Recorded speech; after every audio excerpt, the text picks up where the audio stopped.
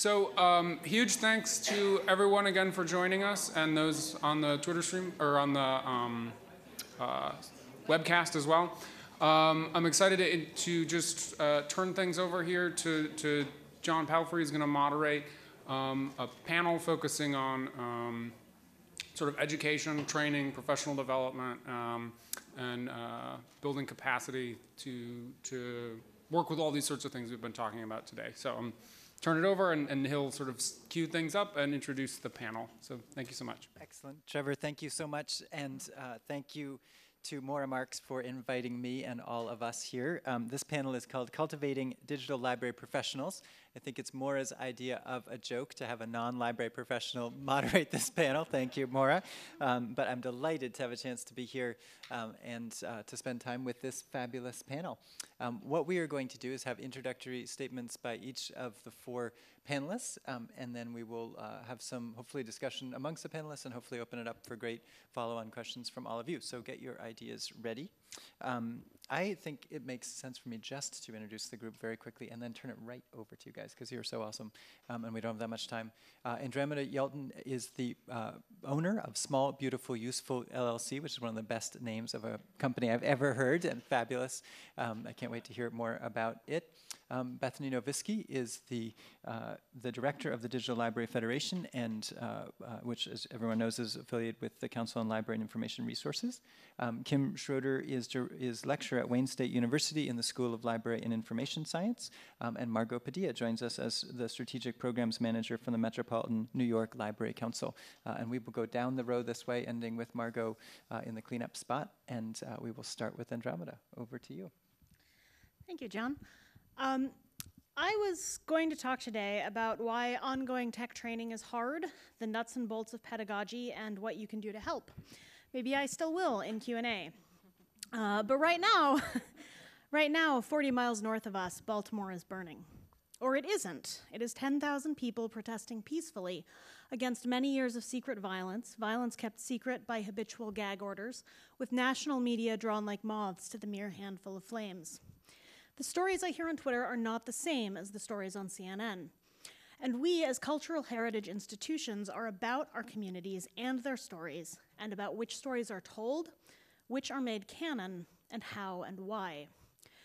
So I want to talk about how technology training and digital platforms can either support or threaten our communities and their ability to tell their stories, and to have their stories reflected in the canonical story that we build when we build a national platform.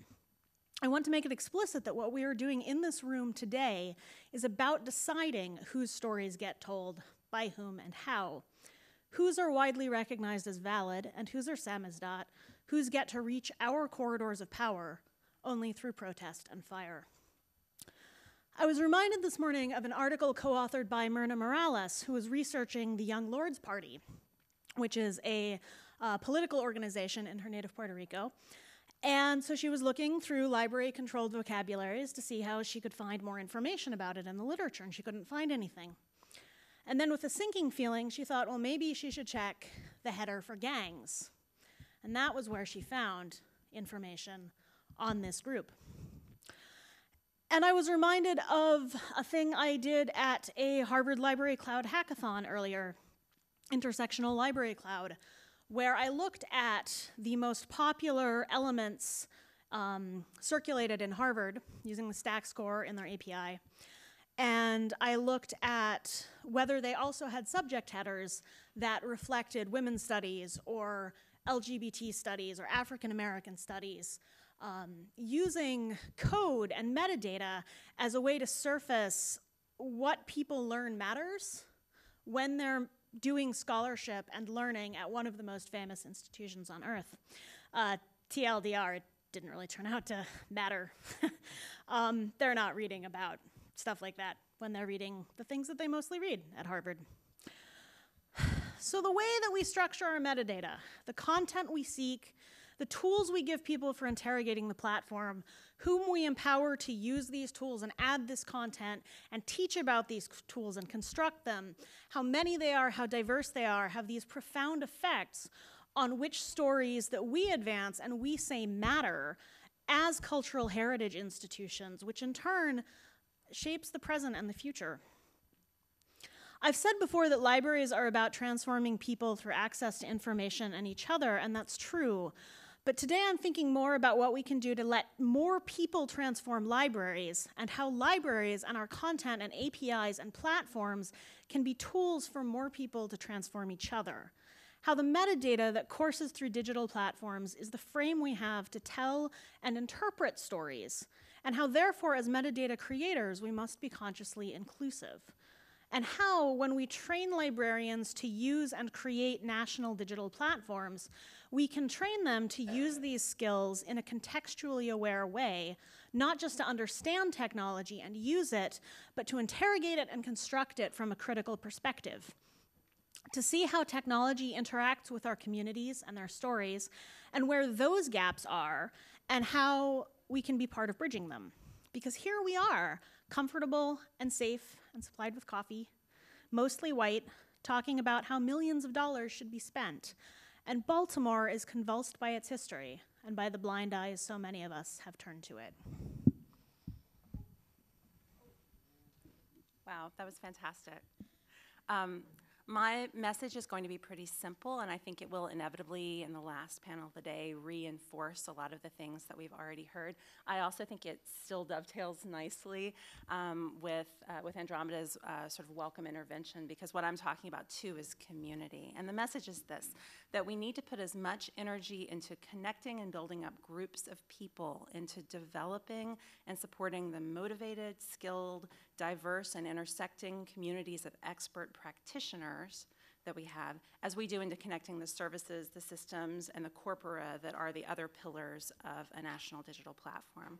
So the first thing that should come into many institutions is not another technology component uh, that you have to support, but rather a functioning social conduit to a broader supportive culture that understands digital library workers and that values the various communities that they inhabit and intersect with and are inspired by. Um, so I see the continuous renewal and expansion of expert practitioner communities as our most fundamental sustainability issue. It's the one on which all the others depends. And I'm consciously using the word community here rather than calling this our digital library workforce or similar, um, even though I know that there's some danger that such a happy sounding word could make us elide difficult, often gendered uh, labor issues in the discussion. But I do it for two reasons. And first, it's because it helps us scale up a conversation that is too often about local and individual professional development. And I also introduce it because of how it plays on individuals as a concept, right? So understanding that you are part of a community changes your ethical orientation toward your colleagues, your users, your shared work. Most of all, it sharpens your sense of uh, futurity, your inclination to look beyond immediate horizons and to consider the much longer term. Communities, um, as we just heard, have prospect and retrospect. Um, they have futures and histories. They're predicated on mutual support and common fate and they have the capacity to draw together people at different career stages or with diverse professional identities and personal orientations toward user groups. And communities themselves set intellectual direction in ways that bear watching. So this is why funding programs that support projects at national scale need at the very least to stay plugged into the conversations of practitioner communities as those communities develop in their self-conception and as we hope they continue to develop demographically to better represent um, American society. Now, the first law for a funder in relation to this evolution may be do no harm.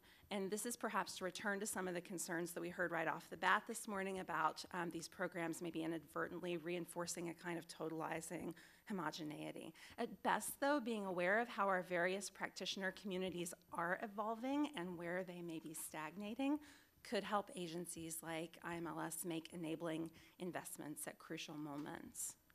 Now, on the other hand, the trick for funders is how to support developer communities through programs that are necessarily and fruitfully user and project oriented. Um, so a lot of what I've been talking about sounds like the Laura Bush 21st Century Librarian Grants, which is a wonderful framework for supporting practitioners as individuals and cohorts. But how you tie programs like this to the infrastructure building um, that we're talking about today with this IMLS priority may not be immediately obvious. We know it's necessary, that's clear, um, because the best professional development and frankly the only meaningful community development comes through project based learning involving real world situations and collaborations.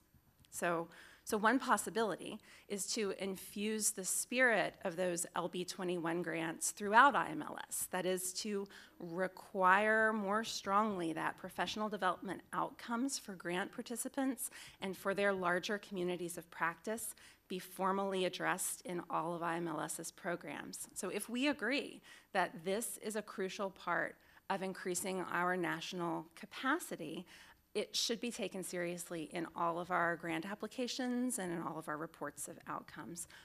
We know that much of the value um, of a funded project comes in around the edges of the core deliverable, and a requirement like this becomes a tool for individual staff members, for middle managers to use to create healthier local institutional cultures. So, want a grant? Show not only that you can get a worthwhile project done, but that the experience of working on it in community will positively impact the careers and the potential of your staff for years to come. Show awareness of how your people fit into and interface with and help advance expert communities of national and global scope. So, uh, once again, being last panel of the day, I'm throwing out my presentation entirely. Um, but in digging around HathiTrust last night, I was looking at early models for library and archival education. Uh, and they pretty much followed a model that we are very familiar with, which is lecture and practice. Uh, and as far as how we take our new skills to educate our students now that will be your employees soon, uh, it has been the challenge. So we know that there has to be some kind of hybrid between lecture and practice. How much practice? How much do they need to know in order to come in and be viable employees without extensive training? How much professional development will they need ongoing? How do you manage this? How many volunteer projects can students handle in the midst of getting a graduate education? So these are all things that we are really struggling with in our field. Uh, and we have uh, great discussions at the faculty meetings about this. So, my proposal really is that no, though none of our traditional skills can slide, and we're adding new skills all the time, I would propose that we just double curriculum. So, that's pretty much it. Um, obviously, it was a joke. Um, obviously, financially, we can't do that to the students, so trying to figure out how to teach them to really execute the research methods in a lab is really vital for uh, feasibility, for us to be able to understand interoperability, to understand how to patch together various systems to allow your metadata to stream through, how to build digital preservation into the management of your assets. It's really a humongous challenge, uh, and I think that we definitely need more insight into discussions like this, so I will thank IMLS for hosting us today but also the library schools, archival institutions, and allied educational organizations need to discuss further what we need. Not that we're going to have a great standardization, but uh, we need to better understand what we're providing our students and what they come to a potential job uh, enabled to do. So we need to speak to students, we need to speak to employers, and among ourselves in education, we need to do more talking, definitely. Um, and if I could, just for a minute, uh, and I will repeat this into the microphone so that the audio folks won't be mad at me, but I would be really interested to know if you could just shout out what kind of skills you would really like to have a new employee uh, walk in the door with at your institution. Being an effective reference person. Effective reference, okay. Anybody else? Willingness to learn with whoever you're helping. And fearless. An entrepreneurial spirit. Entrepreneurial spirit, definitely something we like to garner. Curious. Curious, okay. Communicate the ability to communicate clearly in writing and verbally. Solid, compu- solid communication skills. Margo said lift 45 pounds. What about, what about, yeah. what about project management or managing technology? I mean, that's something that we're very interested in. Um, I, I, like Fe- Fearless. I'm teaching a class this summer where we're going to really take apart uh, a Linux server and work at installing a lot of different pieces that have been mentioned today. Um, and have them understand what that entails. Um, and that it's not, um, eh, that you still have a do over if it doesn't work the first time, because I think there's a lot of intimidation. Um, so those kinds of new skills, understanding linked data, I have students come to me all the time and say, well, what, which programming language should I take? I obviously cannot answer that question for them. It depends what they want to do with their career. Um, but the bottom line, as far as teaching some of this technology, is that the students have to be able to demonstrate to you that they can learn technologies. And so that's from the, from the education standpoint what we're trying to build within our students, that they can learn the technologies because, as you all know, it's unlikely you will find one person with every single technology skill and traditional skill in a job posting. But if they have an allied skill, an allied competency in another technology, you know they're trainable and that they will be able to pick that up and be effective with it. So we have a lot of challenges, and I really think we need to do larger surveys with employers and students and the educational community to understand what it is, uh, what our end goal is. So that's all I have for today. Um, so I'm the program director for the National Digital Stewardship Residency in New York, and I'm here to talk about the program, which uh, I think attempts to address some of the issues that have already been brought up. Uh, the program was developed to cultivate the next generation of digital stewards by placing recent master's degree recipients in host institutions and having them work on a significant digital stewardship project. The program is currently being implemented in Washington, D.C., Boston, New York, and soon will be a virtual program administered by WGBH and uh, the American Archive of Public Broadcasting. The program is still fairly new. We have um, 20 residents and all that have uh, so far gone through the program. So we're still learning what some of the issues are, but we have accomplished many of our goals. The goal of the program is to act as a bridge for students coming out of graduate programs to further equip them with the skills they need, not only to be competitive in the job market, but also to have a meaningful impact on digital stewardship and to become leaders in the field. The program also strives to place residents in organizations where they can really boost the entire program and help the organization get to the next level in its digital preservation long-term goals. For projects, we tend to look for um, intellectual engagement um, for the resident, but also lots of hands-on work. Uh, we really want them to get their hands dirty. We also look for projects that address issues faced by organizations nationwide. So, for example, in the current round in New York, we're dealing with providing access to born digital records, uh, long term preservation of scientific data, and quality assurance measures for web archiving. So when the residents uh, arrive, we have two to three days of initial instruction, and we do digital preservation basics to make sure that everyone is on the same page. And we also work on their project management skills. After that, we have one to two workshops uh, per month, and those are really hands-on and immersive.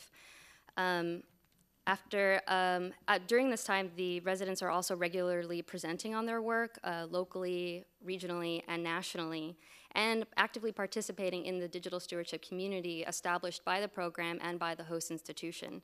So every host institution commits at least one mentor uh, to the resident, and this may be someone who may or may not have a strong digital preservation background, but we really like to have someone in the resident's corner who can help them navigate the ins and outs of the institution.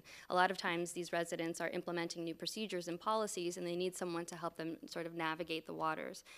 The mentor is also there to uh, guide the resident through experimentation, through pitfalls, um, helping them expand the skills that they bring to the residency and acquire those that they still need. Uh, one of the strongest elements of the program is the cohort model.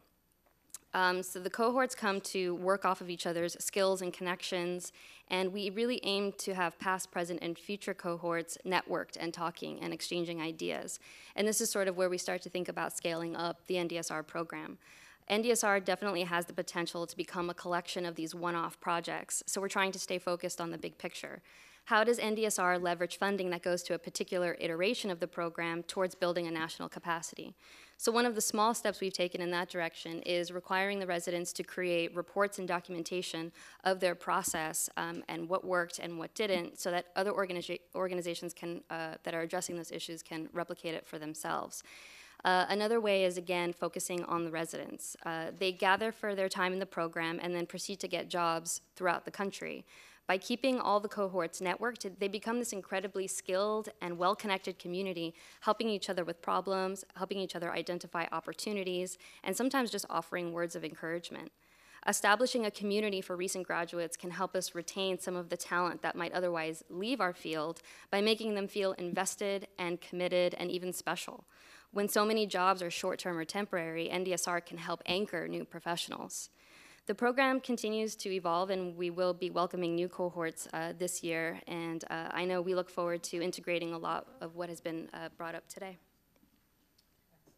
You guys very much. This was a terrific, terrific range of viewpoints on this broad and important question. Um, I have two things that I wanted to ask, um, but I see that Mike has got his hand up right now, so I'm going to defer to Mike and I'm going to fold in my questions as we go. So, since there is a fabulous question, no doubt, in the front row, let's go there.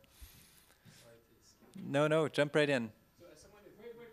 Yeah, that will be helpful. You were so quick on the draw, Micah, that Katie will get there. Confess a personal bias in this question as someone who has spent six wonderful years working in library and does not have a library degree. And I've often wondered if I need to go back and get one to ever be a legitimate library worker. And so my question is, uh, and you know, many librarians have counseled me, no, don't do that. And yet at the same time, I can say as someone who is not a librarian, that's a caveat on every idea I have and everything I say. And you know, this is taking on an unnecessarily personal dimension, but I guess my, my question is, um, you know, I think that it's right. Part of the problem of professional development is clearly about expanding the set of skills that you impart to library school grads. Uh, another question and idea is what about imparting some basic concept of libraries to grads from law school, business school, design school, you know, computer programming grads? So just one example of the kind of thing. Um, I don't have a business degree, but I worked at McKinsey for four years, and they have this thing they call a mini MBA, which is three weeks that is allegedly supposed to give you the highlights of what you would have gotten in two years of business school a little bit insulting to anyone that took business school seriously, but I wonder about, you know, a mini LLM or a mini library degree for people who bring something valuable from another discipline, but want to know more about library school and what they would have learned there, but aren't quite willing to go back to night school for three years to do it. Um, so, do you have thoughts on how you can embrace more deeply other than librarians and archivists as legitimate and contributing library workers? Go for it. Please. Uh, well, one of the things that we are all, you know, in recognition of is that everything we do is collaborative, and so we need people with various perspectives. So I don't have any urge for a very homogeneous uh, discipline uh, or execution of our projects. I don't think that would be um, the best uh, use of our time. I, being an educator, yes, I would love for you to come get your MLIS. You know, that would be great. Uh, but I also understand finances and time, and once you already have a career and out there, there's a lot of other things to do with your time. But I think that you can get at some of that through the collaborations that you do. Uh, and I certainly, I don't have a technology degree, but I spend a lot of time with tech people trying to absorb as much as I can. So um, I I don't feel bad they don't have a tech degree, and I hope they don't feel bad they don't have an MLIS. So, you know, I think that we just learn from each other, and I think that makes us richer. Kim, could you uh, do you offer or could you imagine a mini three-week intensive, you know, MLIS sort of thing, much as McKinsey does in the business side? And do you do anything that is uh, distance learning? So could Micah from New York um, be at Wayne State in any way to get his mini degree? Um, I, I could envision that actually, and we have a very entrepreneurial uh, management there, so I will take that back and ask them about it, honestly. Um, and we do have an online program for our digital curation folks, not for our archives, but program yet. But, uh, you know, so there are definitely things that you can do online. A short while into my time as a library director without a library degree, I found myself in Jim Neal's office at Columbia, and he taught me the term feral. He told me I was a feral librarian, and feral professional, and that it was fine, and not to worry too much about it. So anyway, but I do think that you might find um, that Micah's idea would both be a business opportunity for some leading iSchools and library schools, but also something that would actually meet a need that's slightly different than somebody going back, you know, for two or three years to, to do, a- do a full-on degree, and that actually might expand the network of people involved. But, please. I'm Danna Bell. I'm assuming that I am here as the past president of the Society of American Archivists and not because I work at the Library of Congress, but six of one, half dozen of another. One, I do want to mention that the Society of American Archivists does offer a, pro, a digital archivist certification program um, to become a digital archive specialist. Nine program, nine courses, and then you take a test. So that would be an option. If we're looking at professional development, it sounded very much as if some of the presentations that were being discussed were for new professionals, not for those of us who have years in the profession. Second, to respond to the idea of a two of a course that someone could take and become um, someone with a degree, well, be the equivalent of someone with an MLIS or you know, get these, those, those activities. For a long time, um, the National Archives and Records Administration offered a two-week program called the Modern Archives Institute, where you learned the basic skills so that you were prepared. There are other versions of it known as the Western Archives Institute. Um, there's one that's done in the South. Um, not offering it anymore, but there are those options out there that are available. Um, I do want to go back to something that happened earlier this morning about how you can reach the users. Um, I primarily work with teachers, and they're the ones who we discovered when we put out American Memory. Our number one user group was teachers. We're not talking to the teachers. We're not talking to the folklorists who um, are reaching out into the communities, and we should be doing that as we should be doing that as well. And last thing, I do want to respond to Andromeda and something that she said. Um, how many of you have family members that are in Baltimore? I do. I spent a lot of time talking to my mom last night, who lives about 20 minutes away from where all this was happening. And um, I'm feeling a little bit of frustration towards some of what Andromeda was saying because, yeah, Baltimore was burning, but I think there's some reasons why beyond just the anger and frustration of a person being involved in police custody. Do you want to say more on that topic since it's the issue of the day for all of us? Um, I will be honest, my, I am not conservative, my mom is, but the thing, the thing that frustrates me about some of this is that the African American community is destroying its own community. They're not going and storming City Hall, they're not going and doing things like that. They burned down a senior center that was being built to support the seniors in the community. They went in and looted the CVS that everyone was talking about before they burned it down. They're destroying their own communities. They're not they're not saying, "Hey, come and help us."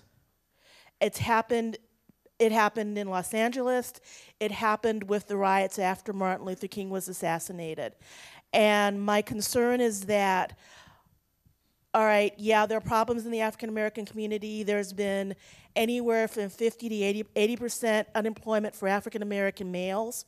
There was an article in the Washington, not Washington Post, the New York Times about the disappearing African American male, and that more and more and more African American males are either incarcerated or dying. But the community that's out there is destroying itself, not just the majority community destroying the African American community. So I have major fears when my 81 year old mother, I'm calling her and going, Do I need to come up and get you because you're 10 minutes away from where they're burning things down? and you live in the roughest part of Baltimore City, the, one of the highest crime rates, one of the largest drug communities. So, um, my concern is we're not, I mean, if we're talking about how we're supporting the community, we're looking, we're not, look, we need to be looking at the libraries. I Ferguson opened its library. The two libraries that I went to as a kid are both that are both in this major area are both closed. Thank you. Um, Pratt's, Pratt's open, but the branches Branches are that are in my community, for sure, one is shuttered. I'm pretty sure the other one is too. Mm, Thank you. And that, and that's, as I said, ten minutes away from where my mom lives, also not far away from where the burning is taking place. Thank you. I saw a few hands, but Andromeda, did you want to say, say more on that? I don't think I can add anything to the voice of someone who actually has lived in the city. I haven't. Uh, Jim, did you want to say anything, or is it about the Pratt? No, it's uh, uh, raising a different question. Yes, sir. So librarianship is one of the uh, few professions that generally does not require uh, continuing education or any level of certification for its, uh, its members, if you will. There are exceptions, health sciences, law, but for the most part, we do not have that expectation. We may have that expectation, but we don't have that requirement. Could you speak to that in terms of whether this is something we need to begin to work on as a community? So I think there would be advantages and severe disadvantages to, uh, to instituting something like ongoing certification. Um, the, the advantages would be um, scale and scope, right? You, you reach everybody, it's part of the culture, it's part of what's done, and there's no chance of remaining um, working in libraries without, uh, without keeping your skills up, without, right? But there are other other vectors to, to taking care of that problem. When I look at that, a suggestion like that, I think about um, a school teacher sort of re-upping certification and so forth, and um, and all of the. It's not a it's not a it's not a sort of nimble system. It's not a system that is very easy to sort of intervene in to advance. The very often, um, you know, a big sort of slow-moving system like that reifies a decade ago's, you know, cutting edge, right? And so, um, so do we want to um, to set up a sort of formal re-upping of certification, or do we want to depend on the kind of user communities and and sort of practitioner communities that I'm talking about to be a little narrower, to be a little more specific, and to be a lot more uh, sort of current in what it is that they're teaching each other. Um, that's that's probably where I would invest rather than in um, in, a, in something more formal. Bethany, you talked in an elegant way about the notion of project-based learning as something that would be helpful in the context of learning the set of digital library skills. Could you imagine marrying that idea to Jim's in some fashion to come up with a series of projects that need working on that would, Oh, yeah, in essence, be something that somebody might do as ongoing training in some fashion? Right. So, so I'm um, I'm pretty new to the Digital Library Federation. I've um, been there a week and a half. You can tell because I have no stickers on my laptop yet. Um, but We'll but- see you in a year, and I'm sure they'll be packed. but I'm sure, no doubt, um, especially after having said that. Um, I have a DPLA one right in my I know, pocket. I want it. Um, but, uh, but before that, um, I spent 20 years at the University of Virginia working in the digital humanities community and most recently directing the Scholars Lab and its graduate fellows programs, which um, over the years have evolved from solo fellowships for dissertating graduate students working in the digital humanities to team-based and project-based fellowships. Um, the Praxis program is one of those. And we watched, because the Scholars Lab as a, as a digital humanities center is administratively embedded in a library, all along um, we were thinking and talking with librarians about how, how do you move that outward? Um, how do you apply that kind of uh, interdisciplinary cohort-based um, learning that happens around a real-world project? So these are fellowships that graduate students get to, um, to join a cohort of five other um, grad students, all from different disciplines, to conceive of prototype, launch, and assess um, a software project in the course of a year, right? So they really are thrown into the deep end. Um, it's been really neat to see that concept spread out to other libraries. So Columbia's developing librarian um, program. UVA is exploring a praxis for librarians. So just that, that model as our graduate students um, finished up and moved on, many, if not most of them, into libraries and cultural heritage institutions rather than into the professoriate. Um, uh, taking that kind of concept with them. So yeah, I do think that's a professional development model that, that has legs. And it also can get things done. Awesome. Kim or Margaret, did you want to respond to, to Jim's question about certification and so forth? Um, yeah, just I'm not ready yet to throw in the towel on um, the library schools. I think there's still ways to sort of um, develop what they're doing there, um, maybe through cohorts or through um, specialized tracks, um, before you start requiring additional education um, once you've already invested in the IMLS.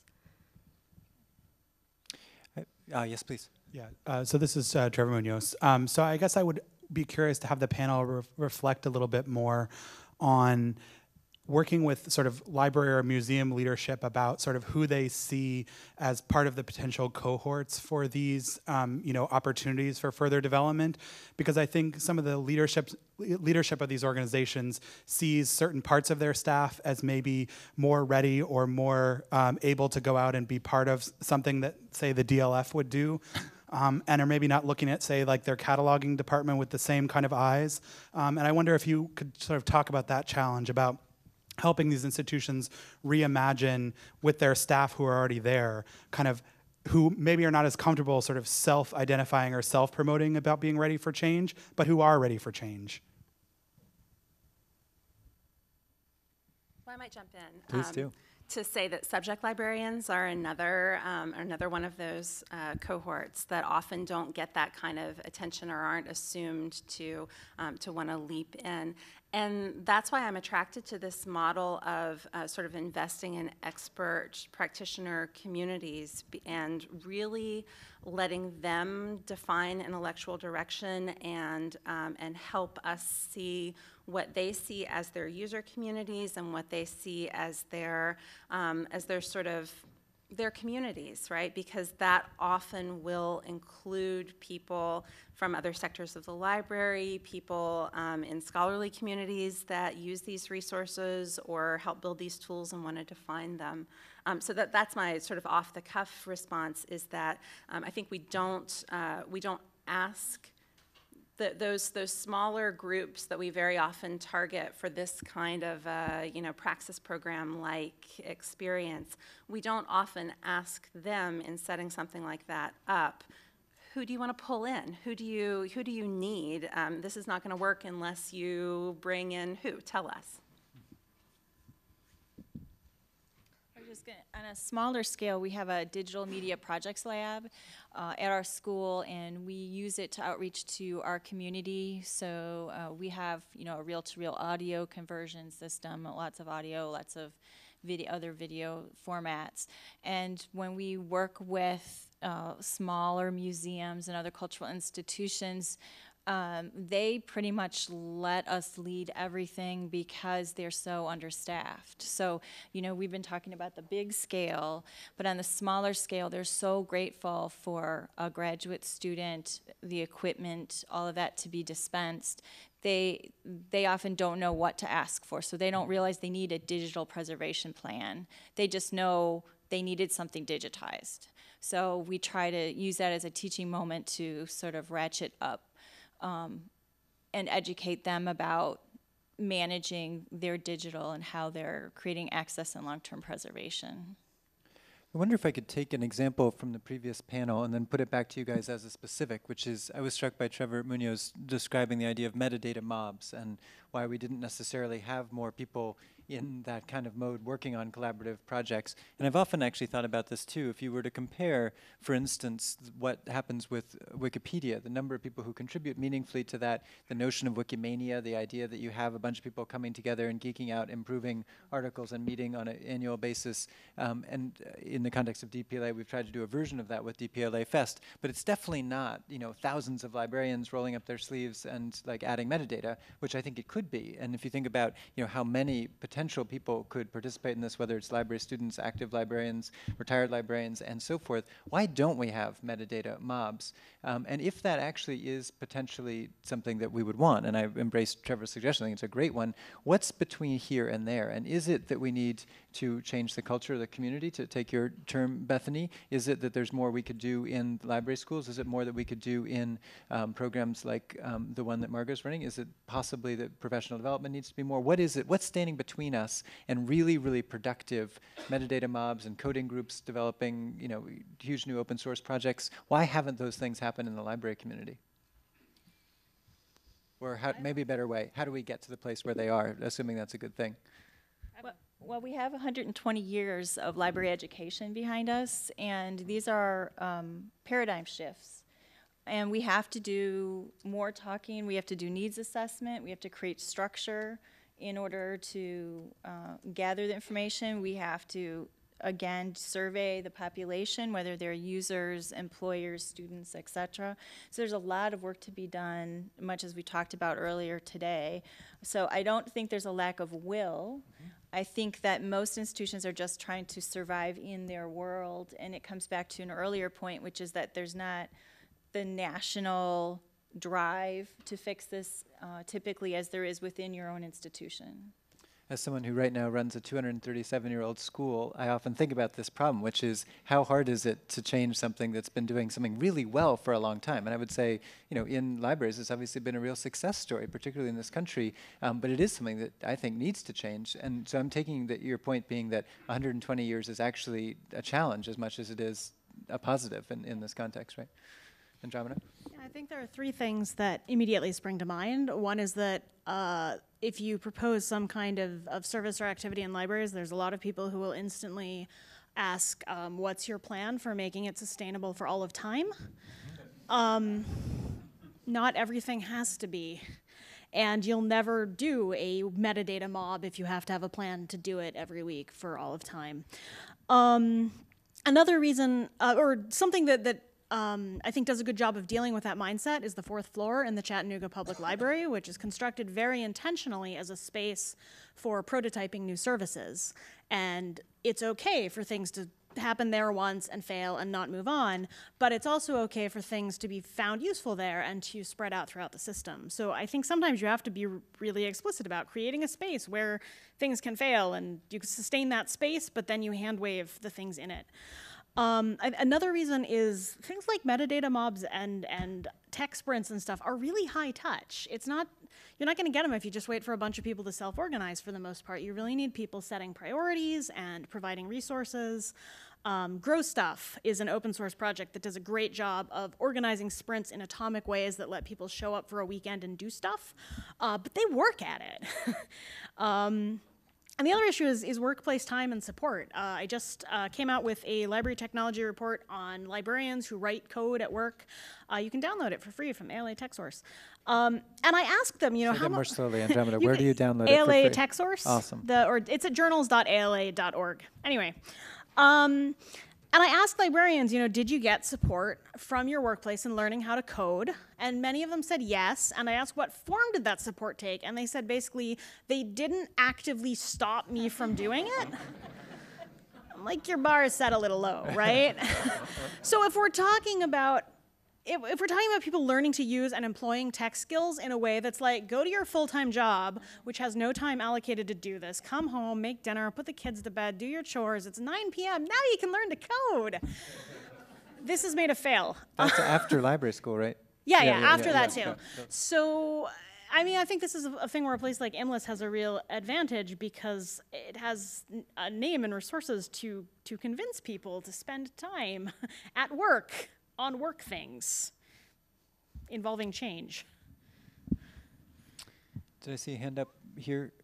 Or whoever has a mic, yes. Oh, I, I can go and I can pass it to Katherine. That after. sounds Um, perfect. Why don't we do that? And so, um, Andrama, you had jumped into some of this, um, and I wanted to thank you for your your sort of diversion um, to to take us through the the Baltimore considerations. But I also wanted to make sure that you had time to share some of the um, other issues that you've started to jump into. But I think part of this gets at a real challenge around how we change the conception of what um, what labor is in this environment. And I think the trick, like funding projects is one thing, but in, in another environment, there's sort of a culture shift about what being a professional means in terms of having that time and that space as part of your job to say that, you know, I need to be learning.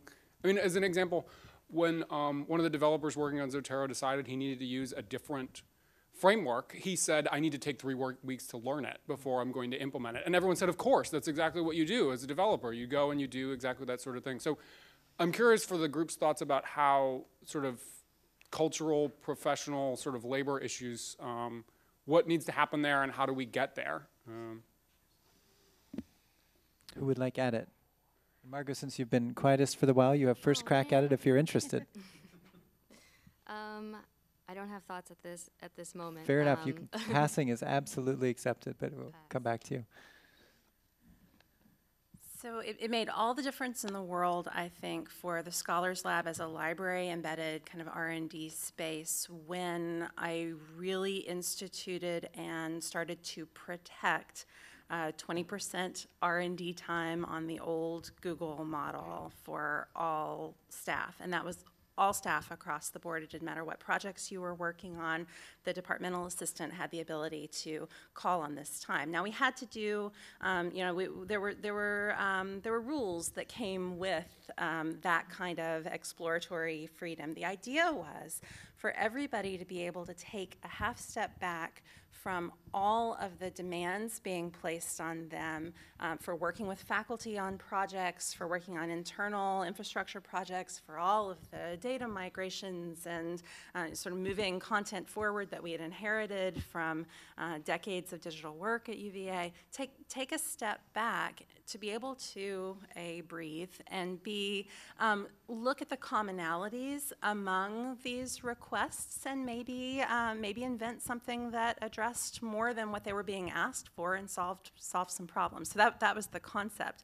Um, some of the, the ground rules um, that I sort of uh, set around this included um, that anybody who was taking advantage of R&D time needed to be able, at the drop of a hat, to say what it is that they're working on and make a kind of compelling case for how it um, it met the mission in some loose way of the Scholars Lab, of the library, of the University of Virginia.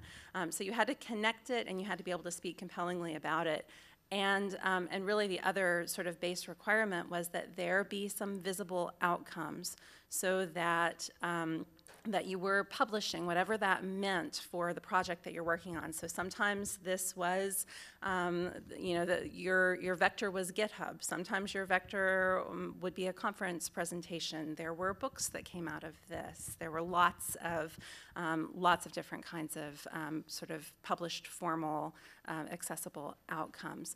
And, um, and what we found was really quickly that the projects that emerged did meet broad needs. So things like Blacklight came from um, from Scholars Lab R&D time, from you know, uh, so take a break, Bess, and uh, and tinker around with this and um, and think about it. You know that that was the seed of um, of some some projects that really radically changed the way our library operates. That opened up possibilities for collaboration um, with other groups. And, um, and the Neatline project was another one of those that was an R&D um, project. So, um, so th- that's kind of an answer to the previous question too, which is just time, right? It's time, and we um, and we kind of get ourselves into the mindset that we need to fill every possible moment, um, and don't give our staff enough enough time to sort of breathe and be creative and um, and really exercise those entrepreneurial skills that we've been talking about and put, you know, put things that they've learned to use.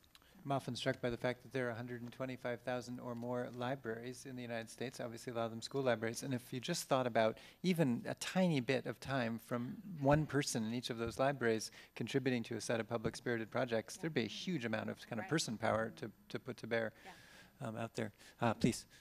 Yeah, I want to say I love the idea you just threw out, John. Um, but I also want to go back to some of the things that we were talking about on the panel earlier today on the GAPS panel. And specifically rewinding back to two questions which continue to come to me as I'm hearing you guys talk. So we've got this kind of identity crisis that I think is going on. It's been going on for a long time. Um, which doesn't make it any less important now. It makes it more important now. And I think that same identity crisis that's there in libraries, archives, and museums themselves is also there in the iSchools and in the you know few museum school programs that are there in the professional development opportunities, et cetera. And until we figure out how we're going to define what our mission is, it becomes really, really hard to teach people to go in that direction. And so I want to challenge us to walk back a few steps. And I know ALA is working on some uh, master language right now around what, what libraries are and what we're supposed to be doing. Um, you know, one of the problems in our field is that there aren't clear hierarchies that can tell us what these things are. And so we have to figure out ways to facilitate voices from the community and synthesize that up and then act on it. And so I want to start there just as a, you know, who are we and how does that impact what answers we can give to where education needs to go. So we'll definitely come back to that as a pause, but keep going. Okay, Yep. and then the second piece is the who is collaborating. So again, you know, coming back to the second thing that I introduced on the gaps, where are the bridges and where are the bridges missing? And right now, one of the critical bridges that I see missing, not just as the executive director of Educopia, where I'm trying to work between groups, but also as uh, adjunct professor at SJSU, where I've been teaching for a number of years in their digital preservation course, mostly to keep my own skills honed. My students force me to. Um, in that course, one of the things that I've been able to do is, you know, tell my students, go out and do a digital preservation plan. Um, and I've done this assignment for about five years, and it's something that I came up with because I'm a practitioner who then came into. I wasn't I wasn't trained in library science. I was you know that was not my background. I was a practitioner, and I came into the classroom, and I brought into the classroom practice and said, all right, you can partner with anybody. You can you can partner partner with a construction company, Charles B. Schulz Museum, aquarium, whatever. And my students have done all of those and more. And they've had these incredible experiences. It's led to internships, it's led to jobs. They're real success stories coming out of this. And so when I heard you guys talking earlier about, you know, how do you start a metadata mob or something along those lines, I think one of the pieces that's broken is the piece between the iSchools and the practitioners often in the same institution. So just in those aca- academic settings alone, we've got some repair work that I think we need to do and some bridges that need to be built that could make it easier to envision the types of projects that, that maybe we're looking at. Sorry to go on for a long time, No, no, but those are my two. two, two fantastic substantive statements slash questions that both have, I think, a lot to go on. Um, uh, Tim Spalding, by the way, from Twitter, points out that LibraryThing is an example of a successful metadata mob, and there's some good, uh, some good um, Twitter chatter on that. But let's start with actually Katherine's first question, which is really the, the kind of fundamental one about the job description of libraries and the sort of shifting, um, developing identity of libraries and how that ties into the panel. And then secondly, we'll come to the who is collaborating question. So let's start with the, the fundamental, and then uh, we'll go to the secondary. Um, as far as collaboration, um, or did you- So you're I'm going sorry, to the second one first? That's fine. You've done It it. was on You my go mind, for it. so- Go for it. Uh, well, Katherine, you and I have like minds. So um, I- I have always, in every class I've ever taught, introduced a hands-on project. I don't care if it was an introduction class.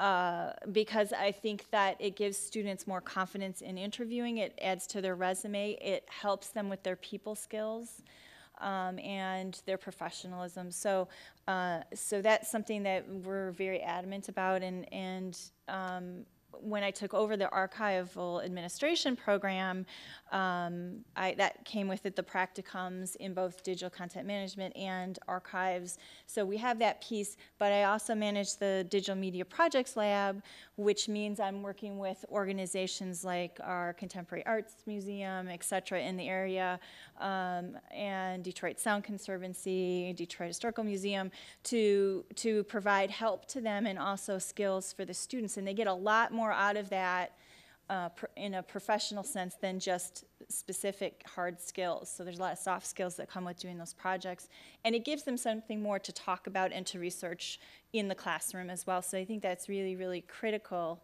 Um, and then we've also got the alternate spring break where they often travel to um, the National Archives or Presidential Library, et cetera, for a week of intensive. So I'm really adamant about the experiential training. Um, and, and my issue, which I mentioned a little bit earlier, is I'm not sure where to even cut it off. I mean, I have some students that will just doggedly, whatever I post that I need a volunteer for, they're there every time, and I'm worried. I, say, no, school comes first. You have to pass first. but you know, how far do you go? But it's really critical. Those are the students that get the jobs as soon as they graduate. You know, the ones that have the hands-on in addition.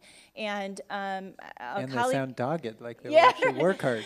Well, I have a, a colleague at Library of Congress, and he said to me, you know, this is, we have a science-based discipline, and there is no other science where you don't experiment hands-on uh, to add to your education. So I think that's absolutely critical. From a collaborative standpoint, we are working, I am making as many connections as I can for my students, and we have some that have gone through the NDSR program, um, which is a fabulous program, um, and it's really important. But, but everything we do is collaborative, and at the NDSA meeting a few years ago, they were talking about the blurring lines between librarianship, archives, and museum administration. And I think that's okay. I'm sorry, but the because of the digital tools, the way we do our jobs is different. And that's okay. And every team I'm on for, for a large scale project has archivists, librarians, and technologists, and maybe museum curators. Everything I do is that way. And we do come at things a little differently, but we have some overlap in our skills that allows us to successfully institute projects. And I just think that's the way it's going to be. And I, I think if we're too territorial, that's going to prevent us from success. How do we systematize that though? Because you are the exception. You know, I, I think part of the reason why you've been in these environments and why, you know, I, I continue to cross paths with you uh, is, is because you are the exception. And so, I mean, the, the question of collaboration at Wayne State is a different question from the question of collaboration when you're not in Kim's class at Wayne State. and, I, and I really do. I mean, I, I mean that both as a compliment and also as a, a challenge to all of us, you know, field wide. How do we how do we turn that around? How do we build things that are more practicum oriented, like what Bethany was talking about, like what um, CLIR has done historically with the Fellows Program, what uh, you know, uh, multiple NDSR. You know, there are lots of examples of this now, both in an internship and residency sort of space, but not so much in the classroom space. And so, thinking about how to forge those connections not just in the one-off instances like what I'm teaching or what you're teaching much more than I am, but you know, in in the system. You're welcome to treat that as a rhetorical question if you prefer not to come. I'm just going to say, uh, earlier, one of our answers to questions was narcissism. Uh, my, my facetious answer right now is peer pressure, maybe. um, I, I just think these discussions are, are the way to go. And I think when you have so many student successes uh, in also doing the hands-on, that, that that will get through to people. And it also means the students will choose where they go. Kim, your point earlier that many of your students are actually not going into the professoriate, though, is an interesting thing, which is if you're seeking to create more professors, although it's great to have practitioners, it'd be interesting to have some combo, or maybe there's a, a route back in some way to, to help populate the professoriate as well. So. Uh, Todd Carpenter with NISO. Uh, something that's been bouncing around on Twitter, uh, I kind of initiated. Um, in result to the 20%, the Google's 20% thing, it was actually 120%. percent And this actually leads to my question how do we as a community foster a culture that is professional development is part of the 100% that you give, not the 125% that you give. That it's part of your job to improve your skills, and that the staff and the institution should benefit from you gaining more skills, then it's on you personally to do that little bit of extra to learn how to code using a MOOC in, you know, at 2 o'clock in the morning. After you put the kids to bed. After you put the kids Yeah. to bed. Yeah. So, um, so I'll tell you what I did. I think we're about to see whether it works or not since I left the institution. But what I did as a manager was I wrote it into people's job descriptions, which are broken down to be 100% as something that you know, if I got hit by a falling piano or whatever, um, they there would be a way for each individual staff member to go back and say, no, this is my job, R and D, for at least 20% of my time in my 40 hours a week is my job. And then what we did in terms of day to day practice was um, I never took it myself. I went around fending off um, demands to try to make it possible for people to really take advantage of it. And, you know, people did that to, to greater and lesser degrees, but it, but it did help mitigate that risk that it could be, um, you know, we're asking people to perform beyond what is humanly possible to do. I think it's fundamentally about moving something from a peripheral activity to a core activity. We did something very similar at Harvard Law School Library, and I think it's just about making administrative choices, right? Right. You're going to spend less time on something else. And I think we joked about those things. I guess it was Kim saying that those skills that we no longer have to train for, but really we do have to take Right. stuff out to put this in, or Right, it's I mean, not going to The work. important thing is that it becomes part of the culture, Right. not just part of the job. And so it becomes part of the mindset, and it, it- you know, that became something that attracted people um, to the group and something that helped retain them. So- I think also Uh, that uh, great, go uh, professional development is something that's not lost on new professionals. Um, like I said, so many of the jobs that new professionals take are temporary, and so you're constantly training for your next job. And that's on your own time or hopefully supported by the institution. Um, but if you're talking about professional development being part of the culture, it's definitely part of the culture of being a new professional. You can't stop. Andromeda, you want to say something? Yeah, it's it's not like you can't demonstrate concrete value for these skills if you're in a context where you really need to do that. I mean, the, the people who are writing the scripts and in my report, you know, Becky Yoose wrote something that saved one to two weeks of cataloger time per year. So if you gave her a couple weeks to learn that skill, it paid off within a couple of years.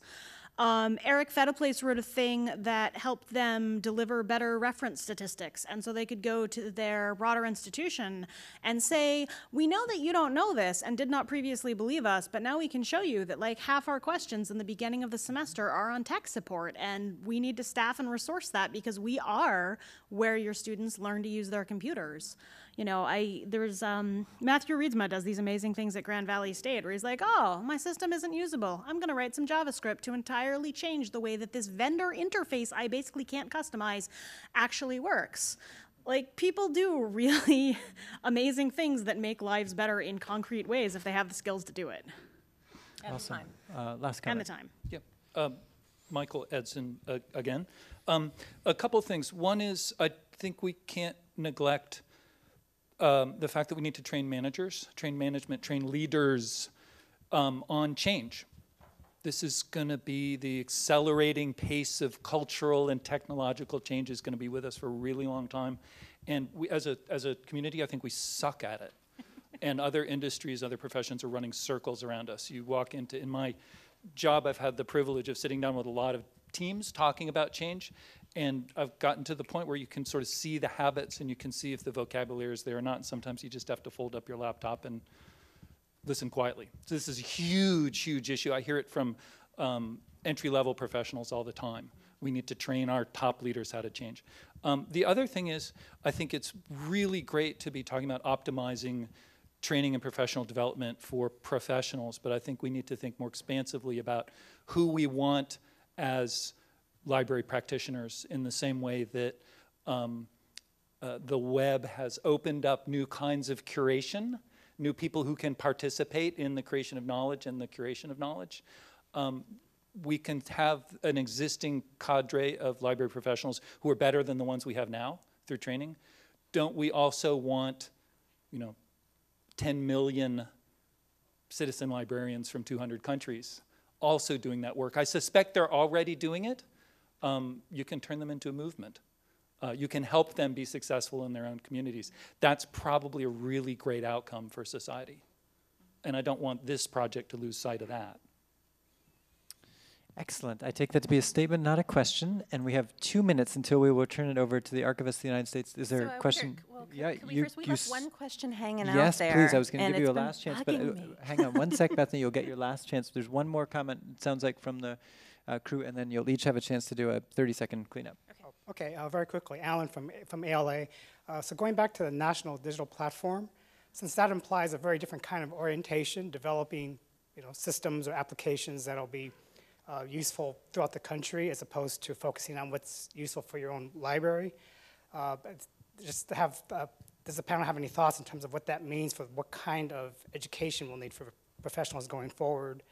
Uh, the other quick comment is, uh, in, in my work, we also uh, focus on national policy advocates, so people who could testify at Congress, or uh, as Micah mentioned, uh, people who might uh, negotiate uh, licenses with, with publishers at, the, at a national scale. And going forward, I think we're going to need just you know, more people like that to engage with the, the, the world beyond libraries. And so, any thoughts or just putting that on the table in terms of people, education and training we'll need going forward? Thanks, Alan. So in roughly a tweet or two length, um, do you guys want to give last comments? We'll go Margo and end up with Andromeda. And Bethany, you can hit whatever you want on the way past. Um, I think just for the last two comments, um, one of the most significant investments we can make is in developing new professionals, um, um, hiring them permanently and training them to become managers. And, in, and as far as um, schools go, um, training them not on a specific programming language or something that is sort of will disappear, but on how to think about these problems. So developing a digital preservation plan will will never get stale, you know. So thinking um, not not necessarily always hands-on skills, but how to think through problems. Um, that that's a skill that will last um, throughout one's career. I would definitely have to agree. Uh, having a business background, I use those skills constantly in managing these large projects and uh, assembling volunteers, and just knowing how to do a budget, project management, and, and uh, needs assessment. All of those those skills are really important, and they're going to continue to be really important for what we're doing because we're looking at larger scales, more integration, and more globality in what we do and how we share information. So I wanted to address the identity crisis question because it came up earlier um, today, and it kind of bugged me then too. You know, so the question is, um, for for libraries, archives, and museums, and iSchools, how do we define what our mission is? How do we make it compelling? How do we attract new practitioners? Um, I want to resist a single answer to that. I think what makes a message about libraries compelling is that it speaks to people's own experiences and to their personal missions. And, uh, and because we are many, I feel like there's not a single value proposition there, but what we want to do is create frameworks that help us voice those to different practitioner communities and user groups. Excellent. I guess my two tweet summary is that supporting professional development has a multiplier effect on the value of all the platforms that you invest in. Um, and enabling the people who create and use and teach your platforms to think critically about the intersection of society and technology makes the technology more inclusive and valuable. One can tell that that Andromeda is a true tweeter. Well done. um, I hope you'll join me in thanking this panel for a great, great time. Thank you.